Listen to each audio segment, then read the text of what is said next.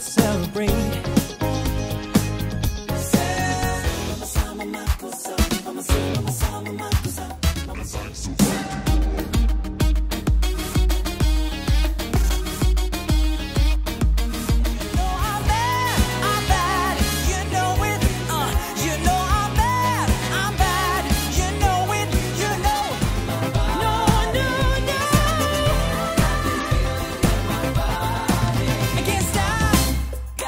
feeling in my body.